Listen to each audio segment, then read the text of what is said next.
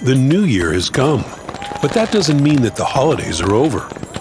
Our merry festivities in World of Tanks will go on.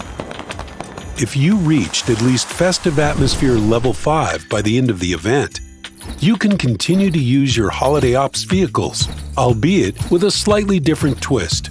You will have as many slots as vehicles you unlock during the Holiday Ops.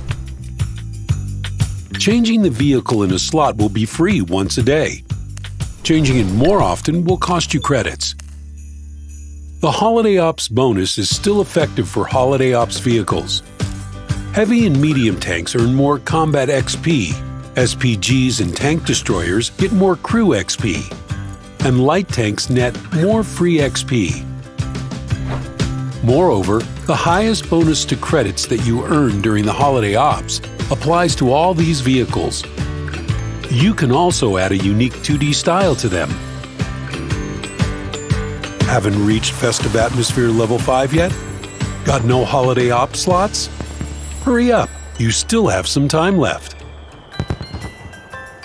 Prolong the festivities, get bonuses, and let the year start with spectacular victories.